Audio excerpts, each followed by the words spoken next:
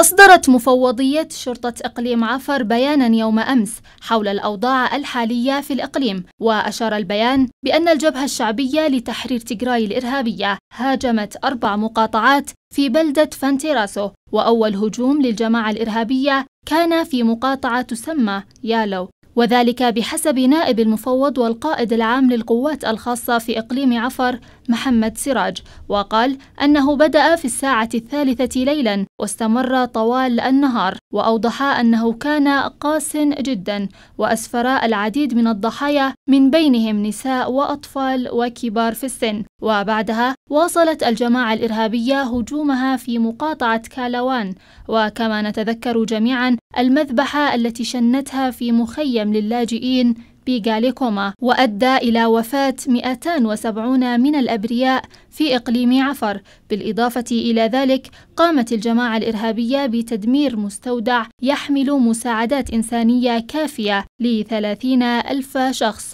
وأوضح محمد سراج أن الجبهة الشعبية لتحرير تجراي الإرهابية شنت الهجمات المختلفة في إقليم عفر للاعتداء على الأبرياء وعلى سيادة الإقليم وأشار أن قوات الأمن الإقليمية بالتعاون مع القوات الفيدرالية وقوات أوروميا الخاصة تعمل لمحاربة الجماعة الإرهابية وأكد أن الجبهة الشعبية تكبدت بخسائر فادحة على نفسها في الممتلكات والأسلحة. وفي هذا الصدد أعرب محمد سراج بأن أهالي الإقليم أثبتوا دعمهم لقوات الدفاع الوطني في حين تم تراجع الجماعة الإرهابية للخلف وإخلائهم من العديد من المقاطعات. وأوضح في البيان أن ما تقوله الجبهة الشعبية لتحرير تجراي الإرهابية بأنها تراجعت للخلف لجلب المحبة بينها وبين شعب عفر هو أمر عار عن الصحة وأكد أن أكبر مثال يثبت الحقيقة